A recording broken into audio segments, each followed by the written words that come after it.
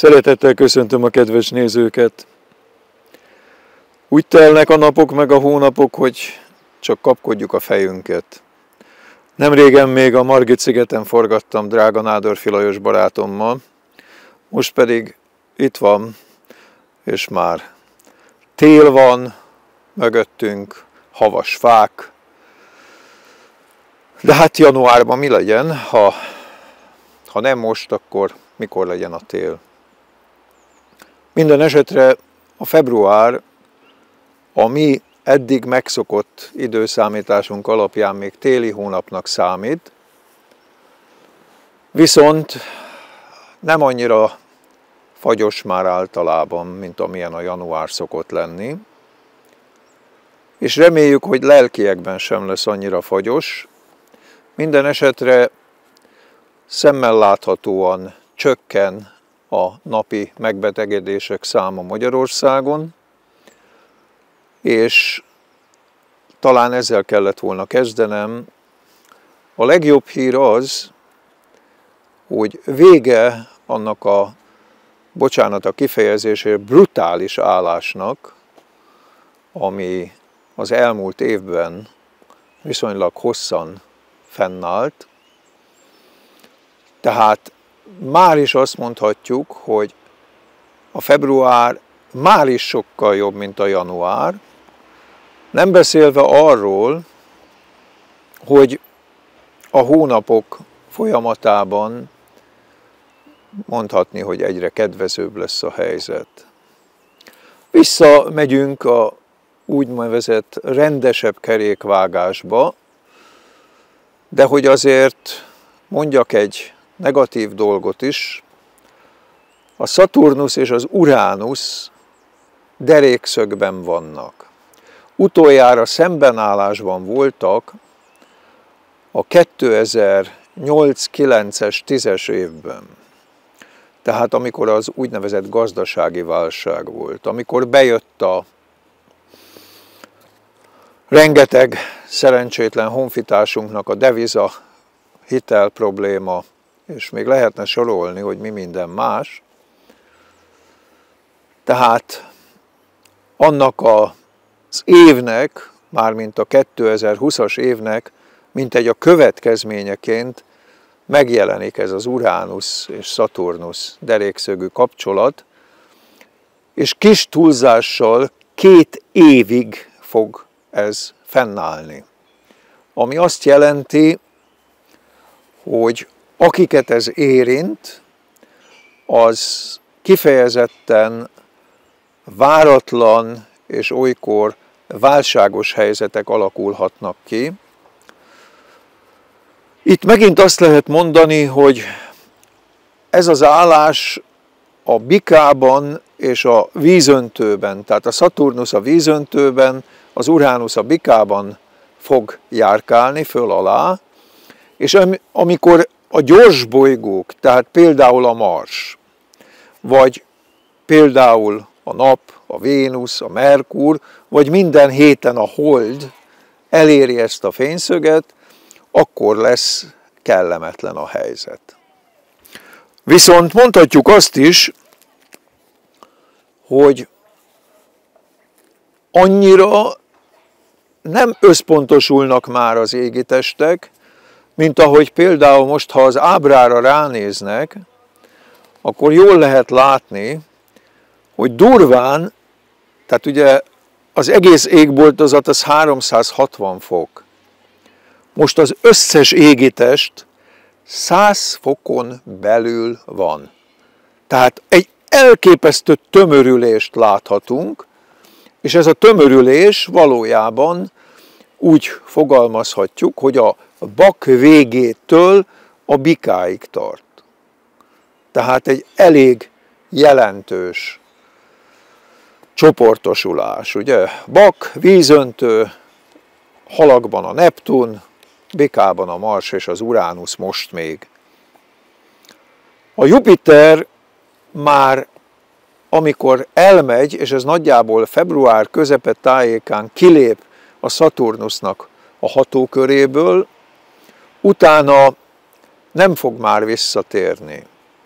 Tehát a Jupiter azzal, hogy ebből kimegy, végül is ő is egy sokkal kedvezőbb helyzetbe kerül, és ilyen értelemben egyértelműen érezni fogjuk, hogy a fagy, ha úgy tetszik, kienged. Tehát könnyebb lesz a helyzet mindenképpen. Természetesen én azt már sokszor elmondtam, hogy a személyes horoszkópokhoz való hasonlításban ezek még mindig tudnak, tehát például éppen az Uránusz és a Szaturnusz tudnak negatív dolgokat szimbolizálni. Igazából véve úgy fogalmazhatjuk meg, hogy a Szaturnusz az a mértéket próbálja megszabni, az Uránusz meg kitör mindenféle sorompóból, mindenféle mértékből, tehát ennek következtében mondhatjuk azt, hogy a, a visszafogottság, a türelem, az alázat, ezek továbbra is fontos fogalmak ebben az évben is, és az a szerencse, hogy most már a Mars hosszú ideig nem találkozik ezzel az állással, tehát ez a nagyon durva, erőszakos, felturbózott állás, ugye hát most például egy kicsit is figyelték, hogy mi minden történt már eddig januárban. Rendkívüli balesetek, rendkívül tényleg ilyen horrorisztikus jellegű dolog, hogy megy egy család egy autóba, és neki mennek a szemben lévő autónak, és bennég mindenki. Tehát valójában ezek nagyon, nagyon szomorú történetek, és hát szó szerint tragikusak. Az én kapcsolatrendszeremben is sajnos sokan ma már nem élnek.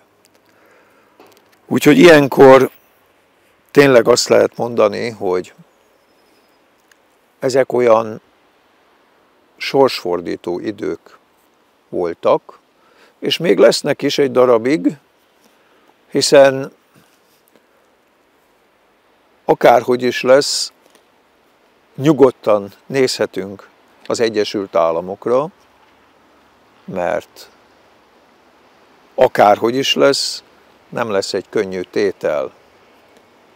És akkor még lehetne tovább sorolni, de én szeretném, hogyha egy picit felüdítőbb lenne ez a helyzet.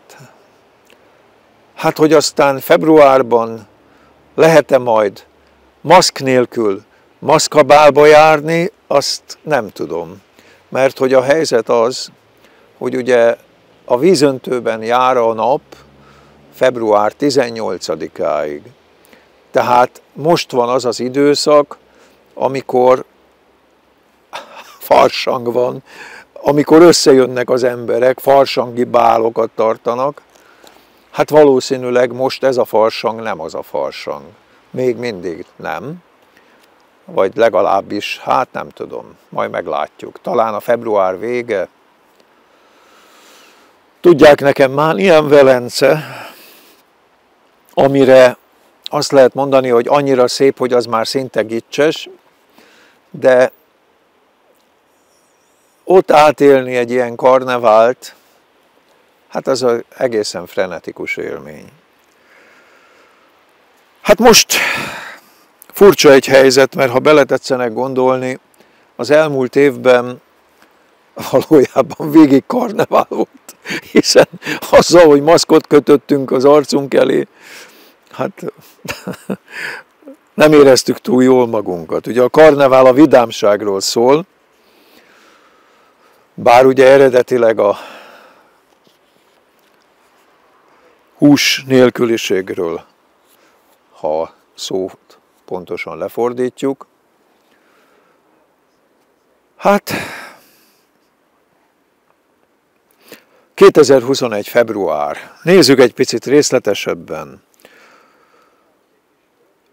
Ami itt most ebben a hónapban úgymond nehezebb szakasznak tűnik, ha ismét ránéznek az ábrára, akkor látható, hogy a mars már a bika közepén jár február 1-én. Na most a nap és a mars azok pont derékszögben vannak, pont február 1-én. Utána viszont a Merkur, illetve bocsánatot kérek, a Merkur az már kiment belőle, hanem a Vénusz az lesz majd még kvadrátban ezzel a Marssal, de az már a februárnak a vége felé. Tehát mondhatjuk azt, hogy azok a pillanatok lesznek kedvezőtlenek, azok a napok, amikor a Marssal a hold, a nap, még az ugye egy jó pár napig az derékszögbe van, majd amikor a Vénusz is eléri ezt az állást. Most annyit még azért elmondanék, hogy a Merkur az ebben a hónapban hátráló mozgásban van, tehát visszafele fogja elérni majd a Marsnak a derékszögű fényszögét, tehát lesz Merkur-Mars kvadrát is. Az első jelentősebb nap ezen a héten, az elsője ugye önmagában a nap-Mars kvadrát, de így negatív értelemben a szombat, amikor a Vénusz és a Szaturnusz fognak együtt állni. Tehát ilyen értelemben mondhatjuk, hogy a február első hetében az el, hát körülbelül olyan három napot mindenképpen, de az se baj, hogyha négyet kihagyjuk a műtétet. A műtétre az első mondhatni kedvező nap az a péntek, és hogy milyen műtét jöhet szóba, a lábfejem végzett beavatkozás az lehet jó, illetve lehet jó a hasi területen, tehát például gyomor műtét esetén, vagy epeműtét esetén, lép műtét esetén, tehát ezekre lehet jó a február 5-e péntek. Aztán a hétvégén a holda nyilasban jár, mindenféleképpen, ha lehetőség van rá, és én bízom benne, hogy ez a Vénusz-Szaturnusz az egy hűvösebb időt, egy esetlegesen havas időt jelezhet február 6-án, tehát elképzelhetőnek tartom, hogy kirándulni, kimenni a szabadba, az lehet kedvező. Vigyázni kell azonban, mert nem csak Vénusz-Szaturnusz együttállás van, hanem a Vénusz az Uránusszal derékszögbe, tehát közlekedési balesetek lehetősége megint fokozottá válik 6-án és 7-én. Na és milyen lesz a február második hete? A második hét úgymond kritikus napjai, mondanám. A tizedike, mert ekkora Merkur hátráló mozgásba visszamegy a Marsnak a derékszögű fényszögébe. A tizenegyedike, mert új hold van, de valójában a további napokkal olyan nagy baj nincsen.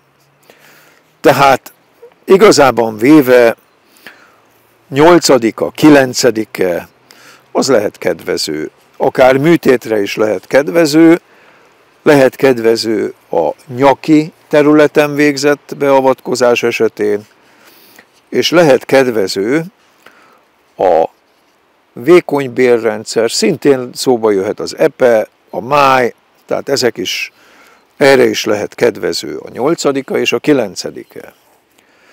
Mi a helyzet a tizedikével és a tizenegyedikével? Pihenjünk, lazítsunk, inkább a visszavonulást válasszuk, semmi esetre sem szabad túl Merkur Marsal az ember hajlamos megfontolatlanságokra, megfontolatlan cselekedetekre. És aztán ismét szóba jöhet még a műtét 12-én, amikor a hold a halakba megy át, és ekkor szóba jöhet például a nőgyógyászati terület műtéte, a gyomor terület műtéte, illetve szóba jöhet még az orron végzett beavatkozás is, és hát valójában bőrgyógyászati terület is szóba jöhet. A hétvége 13-a az egész kedvezőnek mondható a lehetőségekhez képest, ugyanakkor mondhatjuk azt is, hogy itt is lehet kimozdulni, ha nem lesz már túl nagy a fertőzések száma, akkor mindenféleképpen érdemes a hétvégét egy kicsit, tehát arra gondolok, hogy olyan sokat voltunk bezárva, olyan erőteljes volt a úgymond házhoz kötöttség, vagy lakáshoz kötöttség, hogy mindenféleképpen tudom javasolni a 13-át és a 14-ét egy kirándulásra, akár, akár sétákra, kellemes sétákat lehet tenni, gyönyörű helyek vannak mindenhol az országban. A harmadik hete februárnak az megint mondhatjuk azt, hogy hát először is 17-én lesz, akkor áll be a pontos Saturnus-Uranus derékszögű fényszög kapcsolat. Ugyanakkor 20-án fog beállni a Vénusz és a Mars kapcsolat, február 20-án lesz derékszögben a Vénusz és a Mars, de úgy összességében megint azt lehet mondani, hogy például a hétfő és a kedd, kosban jár a hold, még nyugodtan mondhatjuk, hogy műtétre is alkalmas lehet, például szóba jöhet a akár a szíven végzett beavatkozás, akár szóba jöhet a csípő területén végzett beavatkozás, arra kifejezetten a hétfő lehet kedvezőbb, de a kett se borzasztó, csak a hétfő valamivel jobb.